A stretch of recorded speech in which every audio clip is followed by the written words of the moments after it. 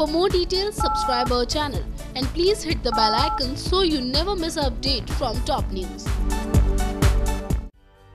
Naagin three के कल के एपिसोड को देखकर दर्शक बहुत ज़्यादा खुश हो गए होंगे।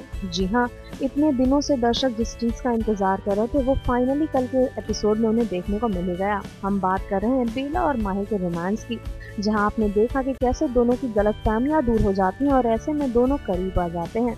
और इसी चीज़ का दर्शक इतने दिन से इंतज़ार कर रहे थे, जहाँ पहले तो दर्शक दोनों की लड़ाई देखकर परेशान हो रहे थे, लेकिन कल के एपिसोड में लड़ाई तो दूर दूर तक कहीं दर्शकों को देखने को नहीं मिली होगी। और ऐसे में कहानी में ट्विस्ट तब आया जब विशाखा एक बार फिर से माहिर को बचाने के लिए पहुँच जाती है माहिर के पास, लेकिन वो कामयाब नहीं हो पाती है।